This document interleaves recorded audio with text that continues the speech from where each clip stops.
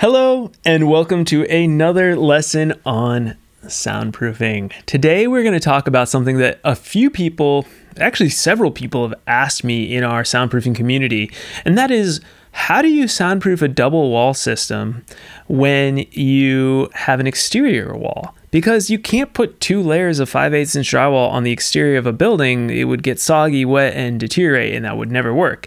So, what do you do? So, in this lesson, I'm going to be talking about exactly what to do and how to think through it so that you can figure out that solution in your own soundproof studio build. Before I go jump into this one, uh, as always, I have my free soundproofing workshop, which is available for you right away at soundproofyourstudio.com/workshop. You can sign up right away and watch this, and it'll go in detail into all of the ways you need to think through your soundproof studio design. Highly recommend it if you're on this journey of building a soundproof home recording studio or a soundproof room in general for any of those who are doing home theaters or things like that. All right, so now let's jump into this lesson on how to soundproof those exterior walls. Okay, I'm going to start with just a quick overview of the double wall construction because it will then help us, uh, help me explain the theory and why I'm doing this for the exterior walls. So with a simple double wall construction, you can look at this diagram. I've showed it many times before, and maybe you've seen something similar like this on the internet, which is to the far right of this diagram, you can see that our STC 63, which is the best wall rating we can get in this series of walls, has two walls spaced at least one inch apart, and on one side of the wall is two layers of drywall, and on the other side of the wall is two layers of drywall with insulation in the middle. Now, the problem is that if one of those walls needs to be exterior facing in the elements of the outdoors, you can't use drywall. So this catches a lot of people off guard. They're like, oh my gosh, what do we do? And there's not enough information on the internet about this. So hopefully this video will help you with that. So this leads me to my second point, which is, well, what do we do? So the key with soundproofing exterior walls is to think about the basics of soundproofing, which comes back to mass. And mass is really the essence of why we use two layers of 5 8 inch drywall. You could use anything, like any building material would work. The only reason we use 5 8 drywall is because one, drywall is a common construction material used in walls and in building walls. And second, because it's cheap, fairly cheap to use. You know, we could use stone or we could use brick or we could use uh, sheet metal. We could use lead. We could use a million items, but they would be more expensive than drywall and harder to work with. Uh, and then lastly, uh, the 5 8 inch drywall has mass. It's way more heavy, has more mass than other forms of drywall, especially obviously the lightweight drywall that's used to help uh, construction workers install drywall because heavy drywall is harder to install. So for our purposes, that's why we use 5 8 inch drywall. Now, on your outside wall, all we need to do is match the mass of our inside wall. So let's do some quick, easy math. So when you go to the Home Depot website, it'll show you that 5 8 inch drywall has a weight of 2.2 pounds per square foot. Now, if you want to be super serious, you could always measure your 5 8 inch drywall just to double check, but for me, that's good enough. 2.2 pounds per square foot. If we double that, we get 4.4 pounds per square foot with two layers of 5 8 inch drywall. Great. So we know that a square foot on our inside wall is 4.4 pounds per square foot. All we need to do is then match two materials on the outside wall that will have that same weight. Um, so, and it doesn't even have to be two materials. You could use one material if you wanted to, as long as it got 4.4 pounds per square foot on your outside wall. So now let's take a look at a real world example. Let's look at my studio build, for example, to see what I did and how this all works. Because a lot of you have watched my videos and, and been like, there's no way your outside wall is soundproof. Like, what is going on? How is this possible? Um, but I'm going to explain to you how it is possible and why it does work and why it is soundproof. So my outside walls were built with 9 16th inch sheathing. This is a nominal uh, width of 5 eighths of an inch. Now, I did some research and I found on one website that I'm trusting, and I have the sources linked in the article on my blog, uh, but it says that on average, 5 eighths inch sheathing should weigh 2.07 pounds per square foot. So we're like, okay, we're a little shy of that 2.2 pounds, but we're close. But then I added HardiePlank siding, and HardiePlank is essentially a um, concrete-based material, so it has some serious weight and heft to it, and it's a great building material for exterior siding because it also lasts a long time and can weather the elements. Now, HardiePlank siding, according to another website that I found, just a quick Google search, again, have the link to my research and my notes. I try to leave a paper trail with my work cited on all of this. Um, is going to be 2.3 pounds per square foot. Now, when we add those two weights together, we get 4.37 pounds per square foot, which is just shy of 4.4 pounds per square foot. So awesome job. This might explain why my studio is soundproof and it worked out well is that my mass on both sides works equally. They roughly equal each other, so I don't have a weak point there.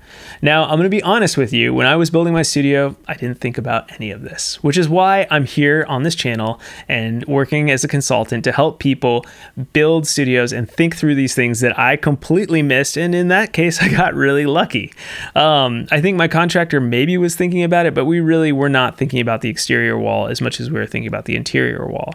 So, matching that weight is important. You can do exactly what I did and you'll be fine. 5 8 inch sheathing, HardiePlank siding, you're good to go. If you're using a concrete block structure, you're probably going to have even more mass. You know, fill the concrete blocks with with sand is what I recommend, but you could even fill them with mortar. Either way, you're going to have a lot of mass in there and it's going to be great. You could use brick, you could use stone, anything. You just need to make sure and figure out that you're at least hitting that 4.4 pounds per square foot to match your inside wall. Now, some of you are going, Wilson, what about green glue? Green glue! And uh, green glue is like the bane of my existence these days. Um, and I joke about it because people obsess over this little sticky compound that has kind of like taken over the internet. Um, if you use green glue, I use green glue in my studio. I recommend it if you have the budget. I think it works. I would use it again on a studio if I built another one. And if you wanted to be, you know, really on top of it, you could put green glue in between the sheathing and the HardiePlank. It's kind of mess. It's going to cost more. It's all this stuff. I didn't do it on my studio. I got great results. I'm happy with them. But to be, you know, scientific about this, if you have one wall that's 4.4 pounds with green glue in the middle, another wall that's 4.4 pounds with green glue in the middle, you should technically have a double wall system that's equal on both sides. Another option is to forego the green glue on the outside wall and try to make up for what the green glue is potentially doing on your inside wall with more mass on the outside. Now, there is some debate out there on the internet of what green glue actually does. You can look at transmission loss graphs that show that green glue potentially, you know, helps in the low end and helps overall in the high end as well, but significantly in the low end. And so adding more mass to your outside wall would potentially help soundproof and increase the transmission loss of your outside wall as well. How much, how many pounds? Well, that's kind of up for debate. Uh, I know Roger Weiss at one point said that green glue is kind of like four pounds of 5 8 inch dry, or sorry, four layers of 5 8 inch drywall. It has the same capability as that. However, he has since pulled that back, and there's this whole controversy where he says they changed the con- the ingredient in green glue, and he's not sure if his testing is still legitimate or not. And so that's all up for debate in some circles. Um, all that said, if you want to try to match your green glue wall, I recommend either putting green glue on the outside wall or just trying to add more mass to try to equal it out. How much mass, you know, how much can you afford? I think it always comes down to budget, especially with these home studio builds. Lastly, you might have a question. You might say, hey, Wilson, what about lightweight walls? Now, this is a totally legitimate and common problem out there in our soundproofing community. For example, we just finished a soundproof studio build here in Nashville where we built a soundproof studio inside of a prefabricated shed.